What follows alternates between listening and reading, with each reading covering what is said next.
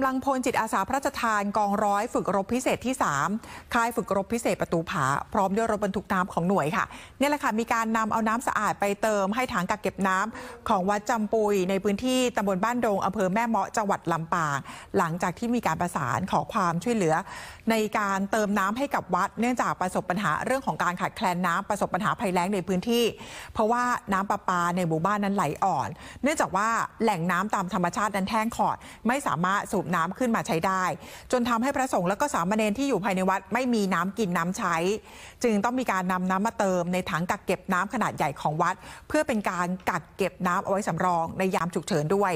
ทางนี้ก็ถือว่าเป็นไปตามโครงการรัฐรัฐร่วมใจช่วยภัยแล้ง ถือว่าเป็นหนึ่งในนโยบายที่ทางกองทัพบกให้ความสัมพันธ์ แล้วก็เดินหน้าในการช่วยเหลือพี่น้องประชาชนไปอย่างต่อเนื่อง เนื่องจากว่าน้ำคือชีวิตขาดน้ำคนก็อยู่ไม่ได้นะคะ